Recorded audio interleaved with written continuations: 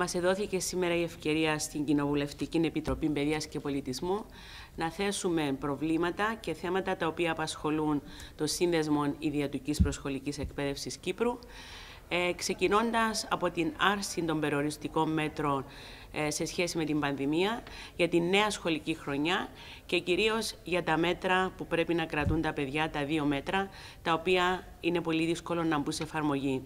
Επίσης, μας εδόθηκε η ευκαιρία να συζητήσουμε το θέμα των δύο Υπουργείων, τα οποία ελέγχουν τα, τους παιδοκομικούς σταθμούς, ε, τα νηπιαγωγεία ε, και θέλουμε να ξεκαθαρίσει το θέμα αυτό άμεσα, ε, βάζοντας κάτω τα προβλήματα που μας δημιουργεί το να μας ελέγχουν δύο διαφορετικά Υπουργεία.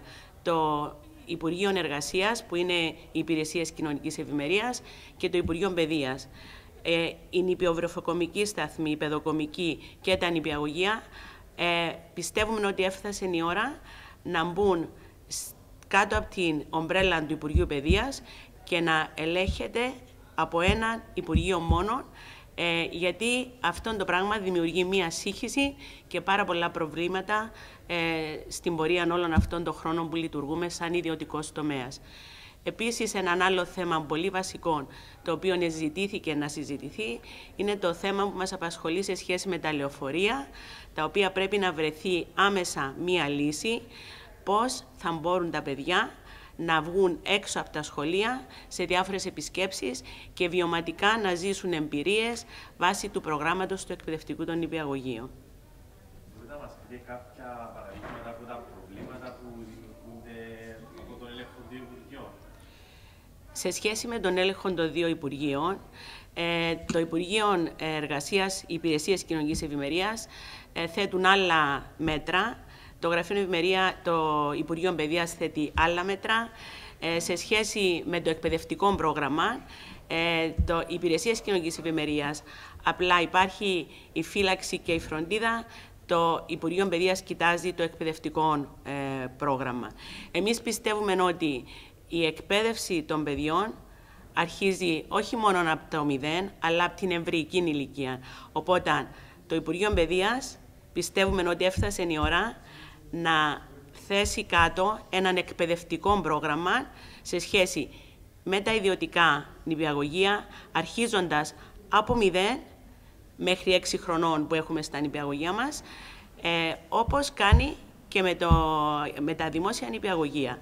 Επίσης υπάρχει μεγάλη διαφορά σε σχέση με τον έλεγχο του, του, Υπουργείου Παιδείας και των Υπηρεσιών Κοινωνικής Ευημερίας, το ότι οι υπηρεσίες κοινωνικής ευημερίας έχουμε να, κάθε χρόνο μία ανανέωση ε, πολλών πιστοποιητικών, δηλαδή υγειονομίου, πυροσβεστικής υπηρεσίας, δημοσίων έργων, ε, Υπουργείου Παιδείας, οι υπηρεσίες κοινωνικής ευημερίας, ε, δημόσια έργα. Είναι 7 διαφορετικές υπηρεσίες οι οποίες ελέγχουν τον ιδιωτικό τομέα μόνο, αλλά όχι τα δημόσια.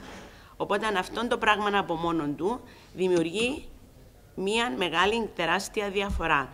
Και το απλό παράδειγμα ας πούμε, που θέτουμε κάτω και το έχουμε πει επανειλημμένα είναι ότι κάθε χρόνο των ιδιωτικών σταθμών νηπιαγωγείων και παιδοκομικών σταθμών, ε, η, όλη η νηπιαγωγή πρέπει να κάνουμε εξετάσεις σύφυλλην υπατήτηδα AIDS, το οποίο δεν ισχύει για το Υπουργείο Παιδείας και για τα δημόσια νηπιαγωγεία. Ισχύει μόνο για τα ιδιωτικά. Είναι πάρα πολλά τα θέματα και πιστεύουμε, το έχουμε καταθέσει σήμερα, μας δόθηκε η ευκαιρία, ότι ε, έφτασε η ώρα να μπουν τα πράγματα σε σωστή βάση για να σταματήσει όλη, όλον αυτόν το ανακάτεμα ε, που υφίσταται ο ιδιωτικός τομέας εδώ και πάρα πολλά χρόνια και το οποίο δημιουργεί μεγάλη σύγχυση. Ευχαριστώ.